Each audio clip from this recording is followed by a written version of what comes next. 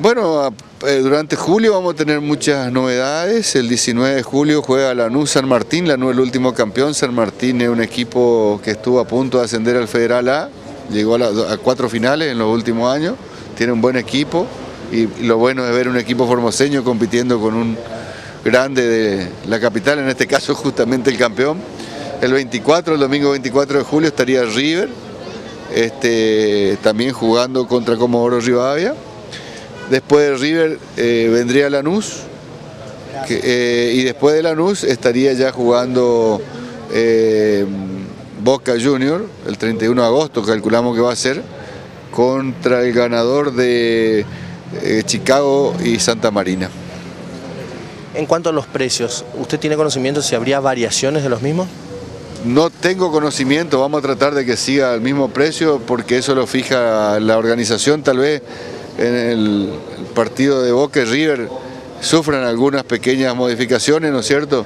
Sobre todo teniendo en cuenta de que este, va a ser este, demasiada la demanda de esas entradas, pero en general vamos a tratar de que se mantengan los valores, es lo que pretendemos hablar con los organizadores. ¿En alguno de los partidos siguientes habría preventa para el partido de Boca? Para el de River seguro hay preventa, ya el de la, hubo y ahora en el de Lanús se va a repetir.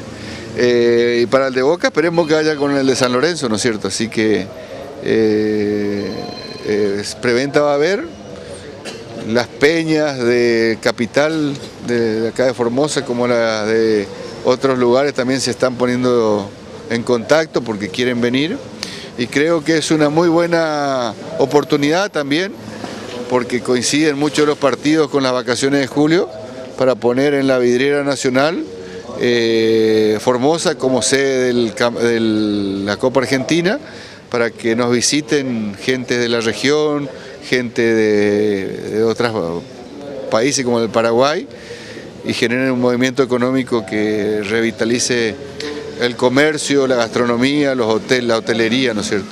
Así que creo que lo hablábamos con Ramiro Fernández Patri, el ministro de Turismo de la provincia, de tratar de empezar a difundir esto eh, para que sea conocido y esos días tengamos visitantes.